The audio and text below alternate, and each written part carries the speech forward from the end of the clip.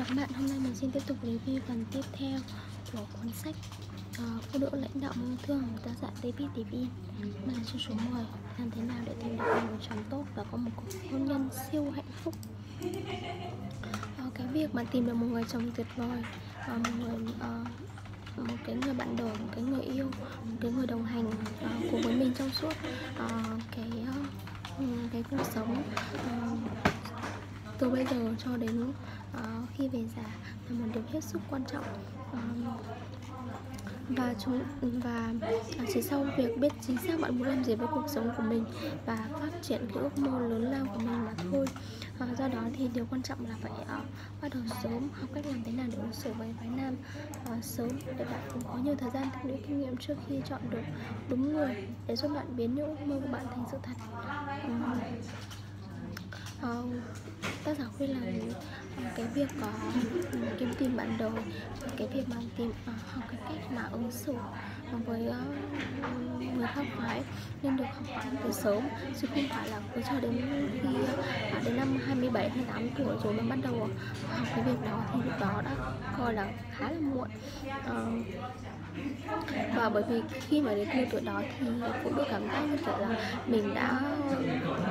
sắp bước qua cái ngưỡng uh, hôn nhân được 30 tuổi rồi và cảm thấy là không còn nhiều thời gian nữa cho nên cái việc lựa chọn và kén chọn đôi khi nó sẽ không còn bằng cái lúc trước.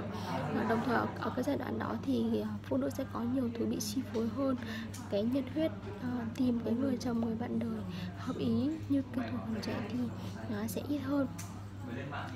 Uh, cho nên là uh, cái việc mà cần tìm cần học cái cách ứng xử với nam giới từ sớm là rất quan trọng.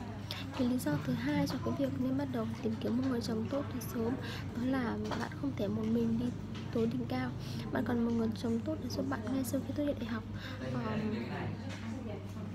Giáo giả đã từng đồng ý với các uh, chuyên gia dành cho các học sinh viên mới tốt nghiệp đại học. Vâng, là hãy trì hoãn hôn nhân và thay vào đó là tập trung à, vào những năm độ,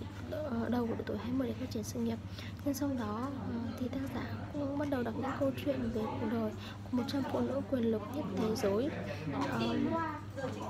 và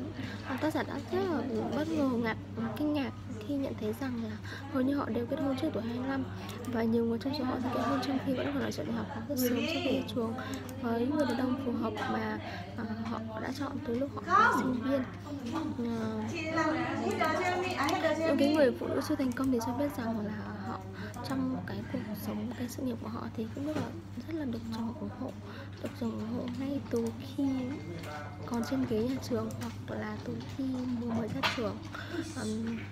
vì vậy cho nên là tác giả hoàn toàn tin rằng cái việc hoãn tình yêu và hôn nhân là một sai lầm lớn có thể khiến cho phụ nữ mất đi cơ hội uh, để trở thành một tổng giám đốc của một công ty lớn đa quốc tế đồng thời có một gia đình hạnh phúc. À, tóm lại ở cái phần đầu của cái chương 10 này là khuyên uh, phụ nữ. Nó nguyên các cô gái nên uh, bắt đầu cái hành trình tìm kiếm một nửa yêu thương của mình. Từ khi uh, ở lứa tuổi đôi mươi ở cái thời sinh viên uh, và uh, nếu có thể thì kết hôn sớm thay vì là đến tận uh, 27 28 tuổi rồi mới bắt đầu đi tìm một nửa của mình. Uh, cảm ơn mọi người đã lắng nghe.